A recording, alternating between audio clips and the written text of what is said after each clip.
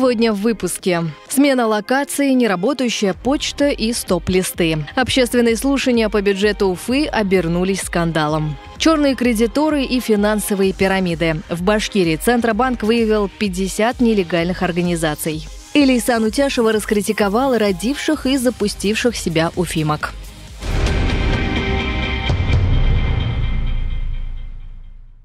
Новейшая история общественных слушаний в Уфе началась 30 сентября 2019 года. Тогда жители города обсуждали реконструкцию и благоустройство парка Кашкадан. Но главной темой тогда стало строительство дельфинария. Снабжение, централизованная канализация.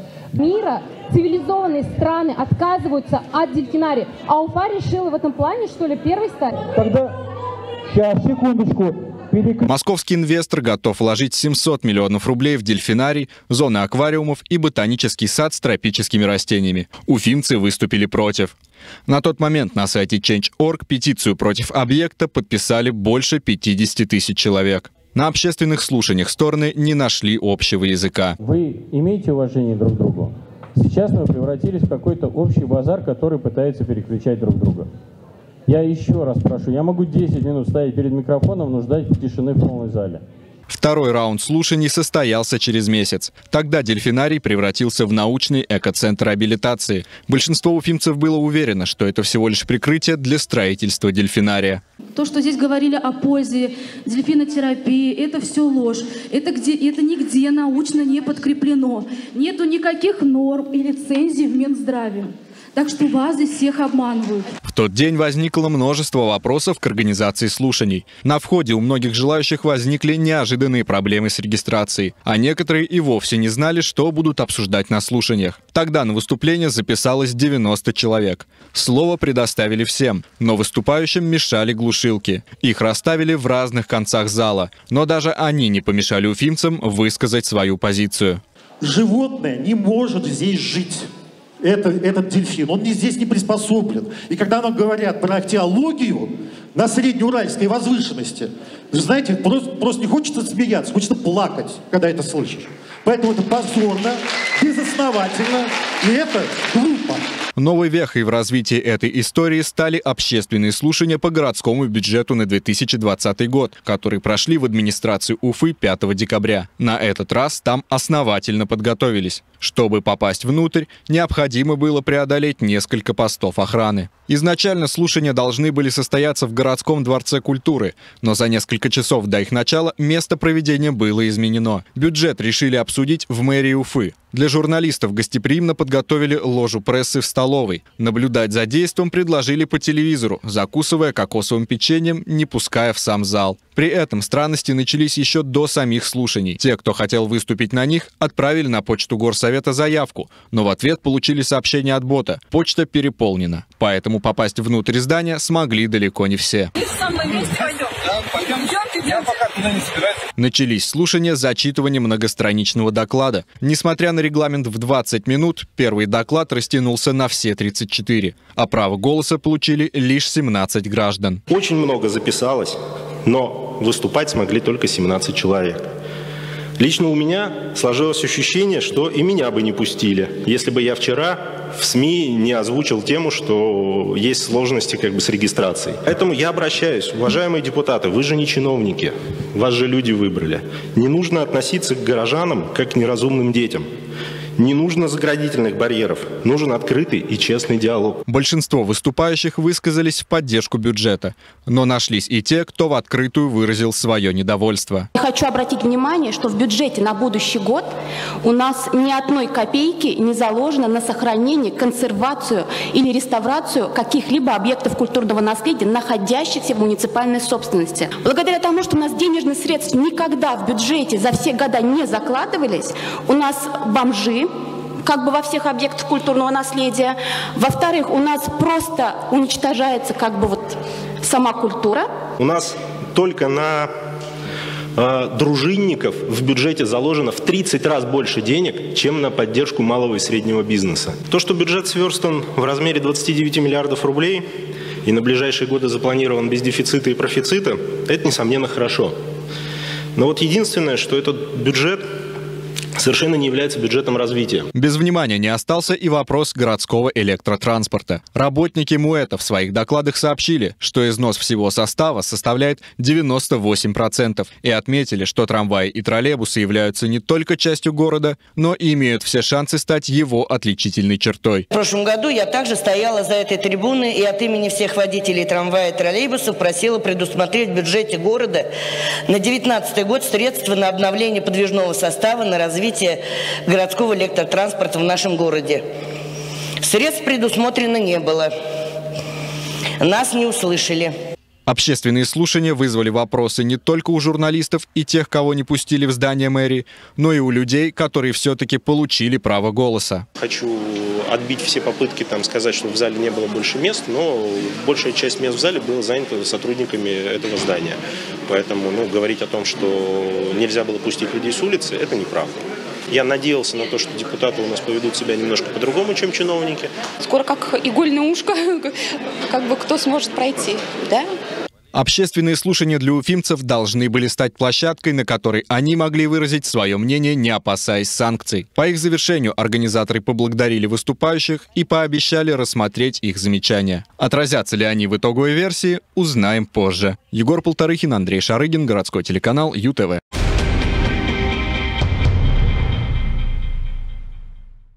Захлебываемся в дерьме. Пожалуйста, примите меры. Жители Иглино задыхаются и тонут в нечистотах. Выгребные ямы по всему селу переполнены. Вот у нас что творится. Дышать невозможно. Дома тоже такая же история. Я астматик. Прям не могу. 46 лет живу. Живу здесь, в этом доме. В Иглино нет центральной канализации. Жидкие отходы со всего села прежде свозили на местную свалку. В ноябре этого года обнаружилось, что свалка незаконна. Она расположена слишком близко к системе водоснабжения и не оснащена никакими средствами очистки. Администрации района пришлось закрыть свалку, однако это породило цепочку новых проблем.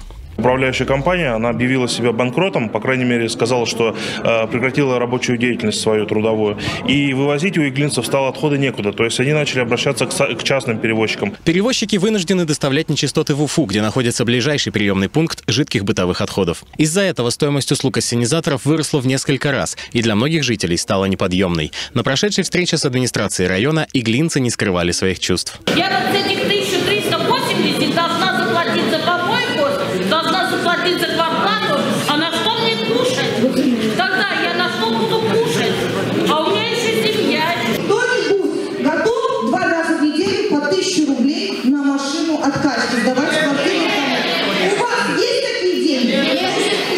Ситуация привлекла внимание республиканских властей. В Курултае состоялось заседание экспертного совета по экологии и природопользованию. На заседании заместитель главы района признался, справиться с проблемой самостоятельно администрация не может. Есть калькуляция вывоза ЖБО и заставить э, подрядчиков муниципальных либо подрядчиков частных возить это по тем же ценам, как было, экономика им не позволит. Загонять их в минуса, но они не будут просто работать. То есть район с этой проблемой бороться хочет но механизмов как таковых вот на сегодняшний момент ну, я определенно не вижу. Строительство собственных очистных сооружений в Иглинском районе сейчас только на стадии проектирования. Первую очередь планируется сдать только в июле следующего года, но и она не покроет потребностей всех жителей села. Есть быстрое решение – коммерческие модульные установки по переработке отходов. На выходе получаются удобрения и обеззараженная вода, пригодная для поливов. Они стоят порядка двух э, с половиной миллионов рублей. А, эти установки могут э, перерабатывать до 60 кубов э, в сутки. И это может решить проблему иглинцев в ближайшее время, то есть за полтора-два месяца. Но для этого нужно, чтобы администрации и предприниматели договорились между собой. В ближайшее время состоится встреча представителей администрации Иглинского района и бизнесменов, готовых инвестировать в этот проект. Однако скорого решения проблемы жителям села ждать не стоит. Жителям Иглино первое, надо а, значит, следить за ситуацией, не соглашаться на то, чтобы сливать отходы на прежнее место, то есть на свалку, потому что они пьют ту воду потом, куда вот это вот все э, льется. Ходить им надо на собрании, создавать свои ТСЖ и э, брать на себя ответственность, не бояться, не думать, что кто-то за них что-то решит, э, проявлять инициативу тоже. Артем Валитов, Александр Кузнецов, городской телеканал ЮТВ.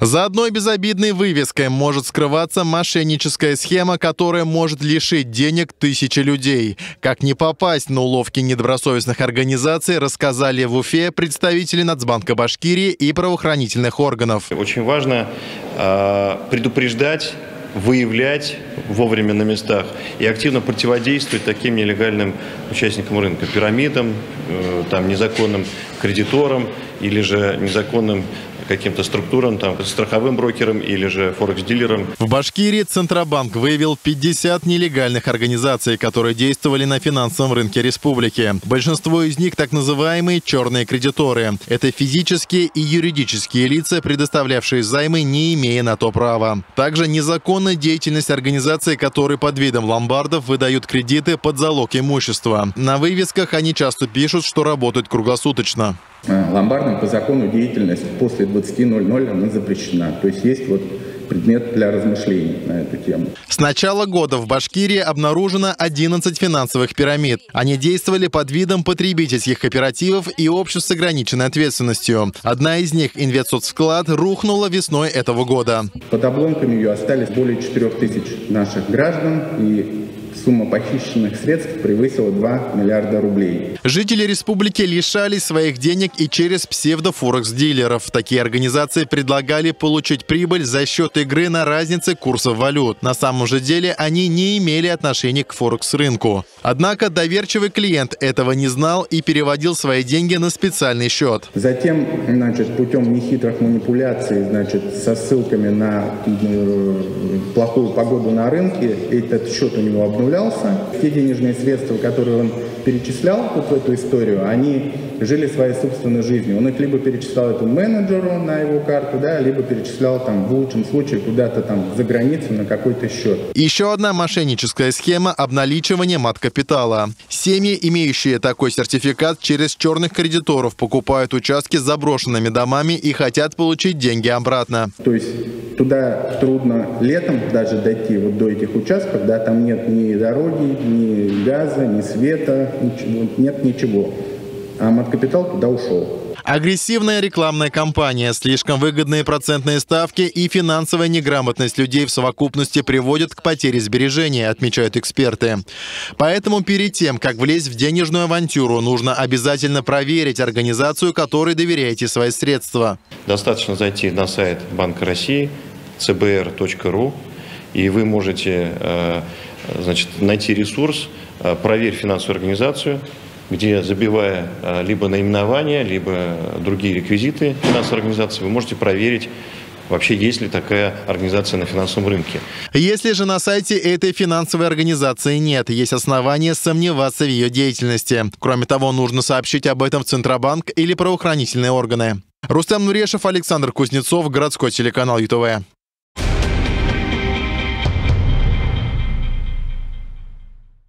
Перед вами стоит девочка.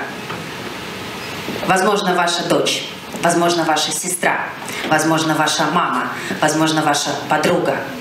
Перед вами стоит женщина, которая родилась в поселке Раевский. Башкирия богата талантами, некоторые из них даже становятся кумирами и примерами для подражания миллионов россиян. Заслуженный мастер спорта, телеведущая и актриса Лиса Анутяшева встретилась с жителями Уфы. Все они пришли на ее авторский мастер-класс «Мотивация». Развиваем новый бизнес, и ну, мотивация не помешает лишней. Тем более у меня сейчас ребенок, и надо как-то совмещать все это. Очень крутая женщина, у нее классная женская энергетика, а, она успешна во всех сферах, поэтому хочу узнать секрет. Она наша землячка в первую очередь. И мы пришли поддержать. За этим мы сюда и пришли, чтобы, а, чтобы она поделилась своим успехом, своим э, жизненным опытом и дала какие-нибудь кейсы для, для дальнейшей жизни нашей. Ну, я больше акцентируюсь на карьере, конечно. Поэтому это еще одна причина, почему интересно ее послушать. Мотивация у нас есть, но хочется знать, как ее правильно ставить и не терять фокус. Вот. Я уверена, что Лисяна Утяшева нас, нас этому научит. Всем пофиг на вас. Всем. Всем. Это правда жизни. Вы берете себя в руки, встаете и делаете. Вот правда жизни. Волшебной таблетки нет. А мне очень хочется верить. Правда? И этой таблетки ждут все, но это будет неинтересно.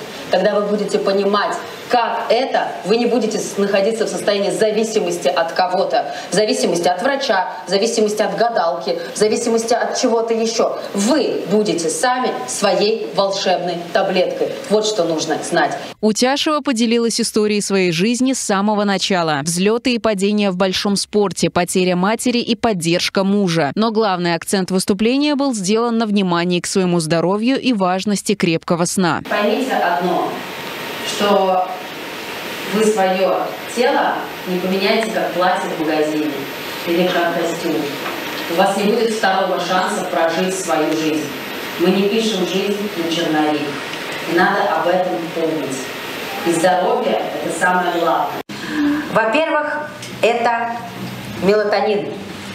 Это очень важно. Потом рука у вас не поднимется съесть какую-то чушь из холодильника. Это очень важно. И вы похудеете, потому что если девушки и мужчины зафиксируют это в себе, ложиться спать 23.00, то вы заметите, как вес плавно и плавно пойдет вниз, кило за ночь. Просто проверьте. Спортсменка раскритиковала родивших и запустивших себя женщин. Обещав вернуться в следующем году, телеведущая дала уфимкам необычный совет. Я желаю всем уфимкам не на меня смотреть, а на себя смотреть и собой заниматься. И, как обычно я это говорю, не искать виноватых и козлов отпущения. Понимаете, а заниматься собой и саморазвитием. Вот что я посоветую. Эльнара Хасанова, Анастасия Никишина, городской телеканал ЮТВ.